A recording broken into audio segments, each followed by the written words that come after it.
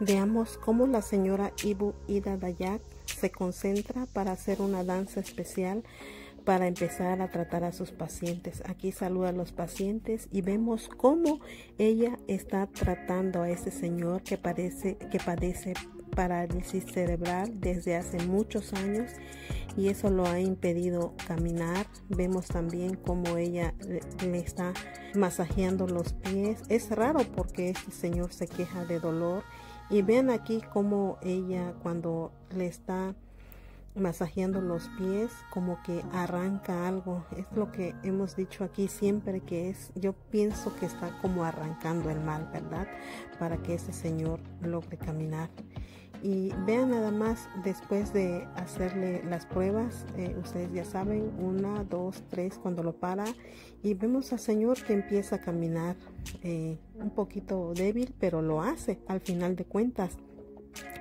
que desde hace muchos años no podía caminar y vean nada más la felicidad que traen también y vemos también como la señora Ibu Ida Dayak empieza a danzar para que ese señor se empiece a relajar para poder caminar.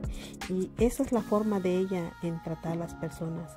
Empieza a danzar para que las personas que ella ha tratado se relajen y puedan hacerlo bien. Es increíble cómo este señor después de muchos años sin poder hacerlo, véanlo, no para de caminar, es increíble, a mí me encanta todo lo que ella hace. Y vemos también pues ese señor eh, sí se pudo eh, tratar bien, sí pudo caminar al final de todo.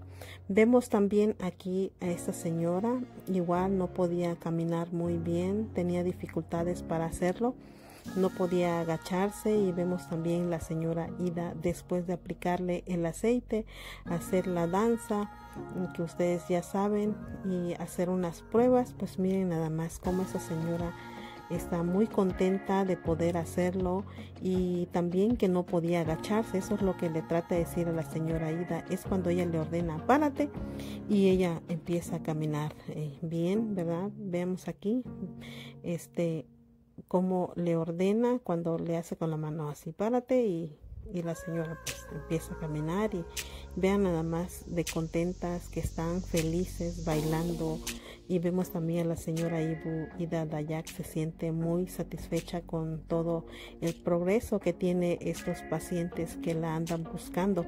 Bueno, como ya les he dicho otras veces, opriman dos veces la pantalla, regálenme un corazoncito, un like.